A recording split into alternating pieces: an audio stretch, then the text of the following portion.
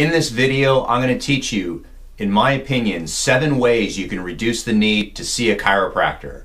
Now, my name is Dr. Story. I've been a chiropractor for over 20 years. Why would I be teaching you this to you? I genuinely want to help you. I'm not going to eliminate the entire need for chiropractic because people have enough traumas, enough stress, and enough reasons to see a chiropractor. And I believe that you should be able to see a chiropractor for things you have no control over, not for things you have full control over. So that's why I'm teaching you these things in the video. The first thing you want to do is to get an excellent pillow. Now, I made another video and that talks in detail about getting a good pillow. But the number one concept that you want to get down is your spine needs to be in good alignment when you're sleeping. So if you're a side sleeper, you need a pillow that's as wide as your shoulders to your neck. If you're a back sleeper, you need support in the back of your neck so your spine stays nice and straight. The unfortunate thing is that choosing a pillow is like choosing a pair of blue jeans. There's probably a pair that fits you perfectly. You just got to figure out what brand it is. So the number one thing is get a good pillow. The second thing that you need to do to reduce your need for chiropractic is to strengthen your core. Now, most people believe that the core is your abdominal muscles, and that is absolutely not true. The, the core includes your hamstrings, your gluteal muscles, your back muscles, the latissimus dorsi. So the thing is, is that what I would recommend as a beginner program for most patients is to start with planks, side planks, and bird dogs. I teach all my patients how to do this. This is the beginning step of training your core to be strong. A stronger core obviously will hold your body in better alignment. The third thing that you want to change is to start fast walking. Now, when I tell patients that I want you to start walking, almost all of them say that they do. They'll say, Oh, I walk my dog, or I walk from my car to your office. That's not walking. What I'm talking about is a 10 minute walk every single day at a fast pace. You want to be going at a fast pace, just short of walk of running. Now, what this does is it actually creates a pumping action in the spinal discs. The second thing that it does is it helps your hips. Most people have hip problems, and what ends up happening is the first sign of getting hip arthritis is a lack of ability to extend your hip and internally rotate your hip. This is all benefited by fast walking. And when I say fast walking, again, it is just short of running, swinging the arms, taking big strides, and you will find that 10 minutes a day is more than sufficient to help with this. The fourth thing that all of us should be doing is creating in our body an anti-inflammatory situation.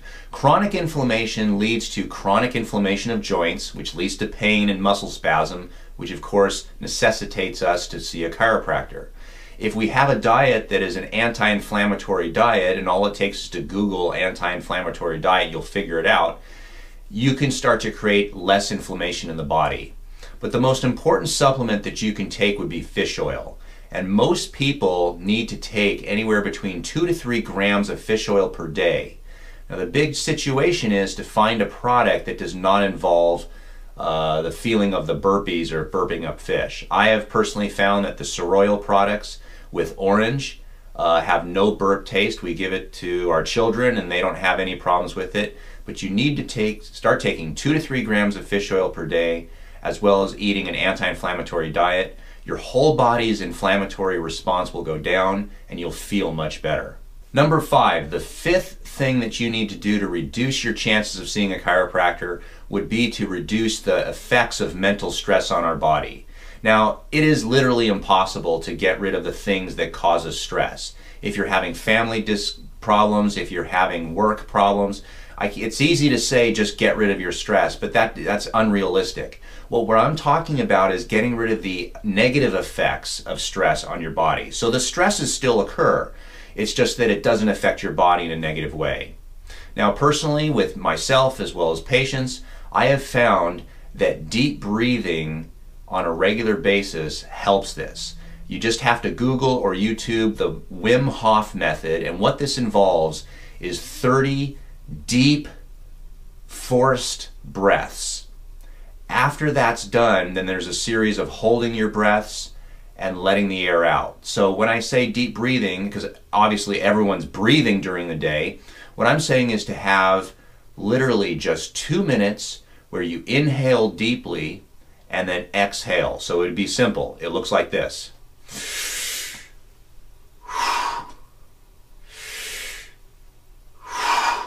That's all you do 30 repetitions, and at the end, there's some other details that you can look into if you're interested. But I have found that when patients literally take two minutes out of their day and do that, it has a very positive effect. They feel fantastic afterwards. Many people feel actually lightheaded. I have done experiments with patients where we take their blood pressure. I have them do these breathing exercise and take the blood pressure afterwards. Their blood pressure goes down. So the thing is, is that the Wim Hof method of breathing has been very beneficial in not reducing stress, but reducing the effects of stress on our body. The sixth and most difficult thing to do to reduce your need for chiropractic is to just lose weight. Now, this is much easier said than done, and I can only empathize with people to, that try to lose weight and have a difficult time with it. This is not an easy solution. Uh, if you need extra help, there's lots of uh, people out there that can help you. Uh, there's obviously medical weight loss clinics. I have personally not seen many patients have long term success with that, but most of the clinics, like a Weight Watchers or something like that, that teach people how to eat and teach people for the long haul how to eat, these are the things that need to be done in the long run with regular exercise. Now, everybody knows how to lose weight on paper. It's it's quite easy on paper. You simply eat chicken, fish, beef. You re, you eat vegetables, occasional fruit. You don't eat complex carbohydrates like spaghettis, pastas, and bagels and cookies and all those things. You don't drink diet Pepsis. You drink water. On paper, that's easy to do, but when it comes to real life, it is difficult to to continue to do that but you do the best you can. And what I've told patients is that if you can try to get 80% of your diet good, and once in a while you're maybe not eating so good, that's much better than 100% of the time or 90% of the time having a bad diet.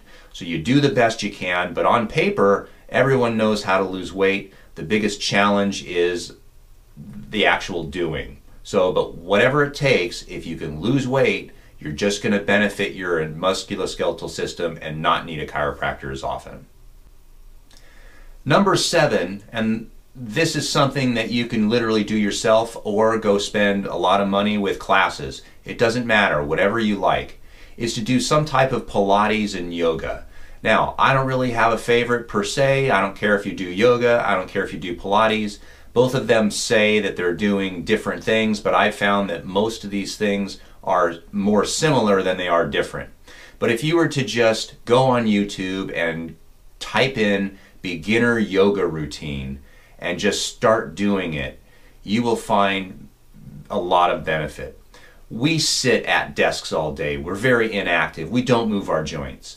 The only real true benefit of yoga and Pilates is they do cause some type of stretching and strengthening of our muscles. If it's something that you like to do, that's great. But I would think that if you were to do yoga in combination with chiropractic, you would find that you'll just need the adjustments less often. So if you like this video and you found it helpful, give me a thumbs up. If you want to subscribe to my channel, just hit subscribe.